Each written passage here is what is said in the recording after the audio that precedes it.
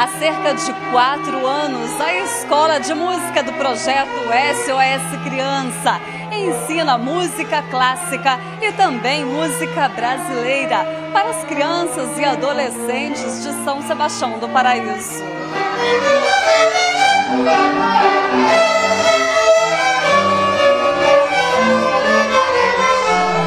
A escola de música proporciona oportunidade de aprendizado dessa arte, que aguça os sentidos. Desenvolver o lado artístico para esses jovens já é uma grande conquista. Já tem criança que já está até querendo prestar concurso em orquestra. E a gente nota que a mídia hoje ela não, não transmite uma música apropriada né, para criança, porque a letra incentivando adultério, a isso, aquilo, né, que coisa que não é apropriado para criança. E aqui é transmitida a música erudita. Então isso, sabe, as crianças elas ficam motivadas e já já estão pensando em prestar concurso e elas se elas estão muito felizes com o projeto. Mariana está no projeto há três anos. A aluna conta como foi sua evolução durante esse período. Comecei a conhecer música clássica que foi muito bom no começo. E até hoje é. Conheci mais música, conheci sobre muita música clássica e está sendo muito bom. Tarik também é um dos alunos veteranos. Hoje, com 12 anos e há três na escola de música, ele define como a música mudou sua vida.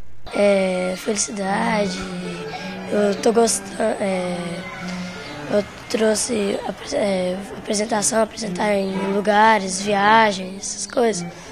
Eu achei foi bom, porque eu aprendi a tocar muitos instrumentos, violão, essas coisas. Segundo a presidente do SOS e idealizadora do projeto Ruth Cossi, a instituição leva uma nova perspectiva de vida às famílias e às suas crianças e jovens. Essa orquestra de cordas infantil é, é, não, não, é inédita. Então, nós já fomos convidadas para ir a Ribeirão Preto, já participamos da, da, da, Feira Nacional do Livro, já temos outros convites para participar de outras atividades em outras cidades, já fomos para Poços, já, já, sempre nós estamos viajando e a gente vai. De vez em quando nós vamos a Ribeirão levar as crianças para ver a apresentação da Filarmônica, naquele Juventude tem concerto, que é dia de domingo no Teatro Pedro II. A gente está proporcionando momentos de, de apreciação do belo para as crianças, né? A Orquestra de Cordas Infantil do projeto SOS Criança possui 70 integrantes, com idades entre 7 e 14 anos. Além disso, eles participam também de outras atividades, como idiomas e formação da moral cristã. O SOS Família é aquele que trabalha com a reeducação das famílias, tanto as famílias das crianças quanto as famílias que vêm, que nos procuram numa situação emergencial, precisando de cesta básica, ou precisando de roupa, ou precisando de mobiliário. Então a gente procura atender as famílias dentro das nossas possibilidades. E o SOS Criança é uma consequência do SOS Família, porque a família que quer ser cadastrada, ela deve mandar os filhos para cá. Os filhos de 7 a 14 anos.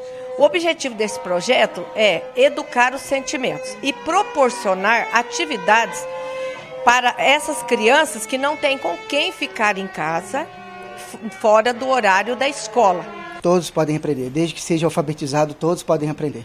Porque aqui a gente ensina a música por partitura. A gente não toca de ouvido, né? A gente tem um método já de iniciação, uma cartilha. Eles aprendem a ler música e tocar por partitura.